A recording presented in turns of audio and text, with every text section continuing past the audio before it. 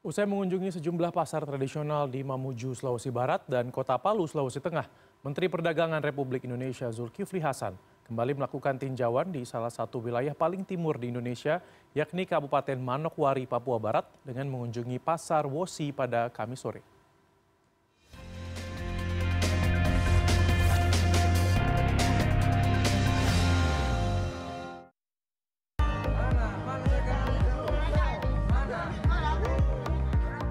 Tinjauan mendadak yang dilakukan Menteri Perdagangan Republik Indonesia Zulkifli Hasan dilakukan untuk memantau ketersediaan dan stabilitas harga jelang perayaan Natal dan Tahun Baru 2024. Sesampainya di Pasar Wosi, Sulhas langsung berkeliling pasar untuk mengecek beberapa harga bahan pokok, mulai dari cabai, beras, telur, hingga harga minyak goreng.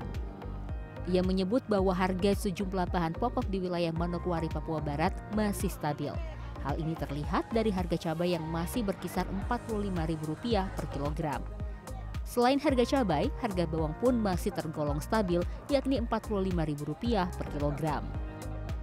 Zulhas pun senang karena harga bahan kebutuhan pokok di pulau paling timur Indonesia ini masih stabil. Bahkan beberapa barang harganya jauh lebih murah dibandingkan di Pulau Jawa.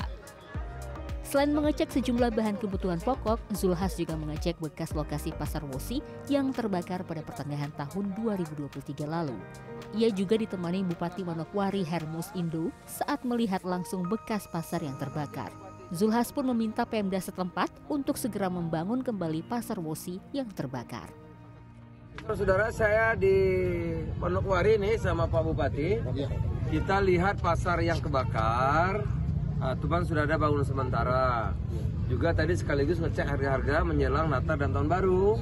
Uh, di Bandokwari harga stabil ya. Cabai tadi cuma 45.000, bawang 45.000. Ya, yang lain stabil harganya.